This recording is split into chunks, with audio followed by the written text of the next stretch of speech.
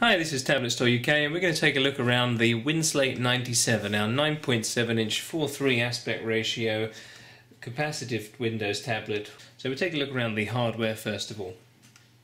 Now noticeably on the front of the device there's a Windows button on the right hand side. This isn't in fact a Windows key but is a shortcut to the tablet function so I'll show you what that is.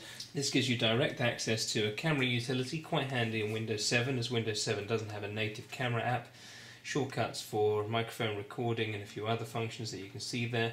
Also specifically uh, you can turn off the screen rotation, turn off and on Wi-Fi and adjust the screen brightness accordingly. So we take a look around the outside of the tablet. First of all along the top of the device we have the power button, indicator lights for power on and low battery, battery charging state, DC power in, the vent behind which is the primary fan for heat dissipation at the top of the device.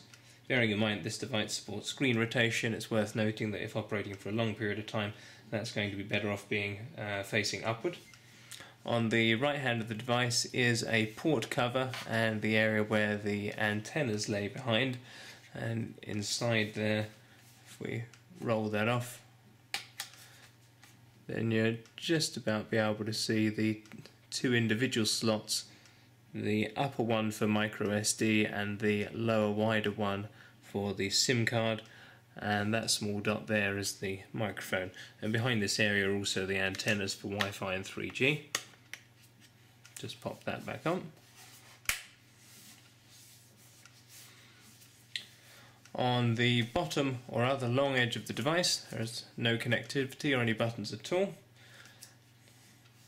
and on the right edge we have a reset button behind the hole there, two full-size USBs, headphone socket, mini HDMI output and a rocker button for volume control.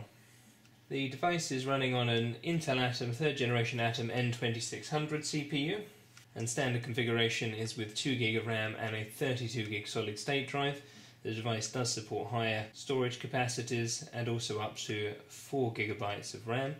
You'll see that touch input is available with 5 touch points, which means that for no useful reason at all you can do this. Wi-Fi N and Bluetooth are standard on the device as well. Just take a look at the device running Windows 8, uh, first of all in portrait, and more usefully I think in landscape.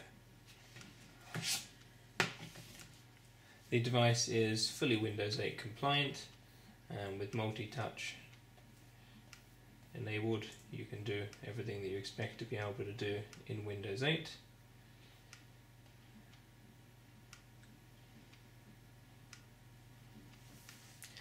Thanks for watching. For more information and pricing, head to tabletstoreuk.com.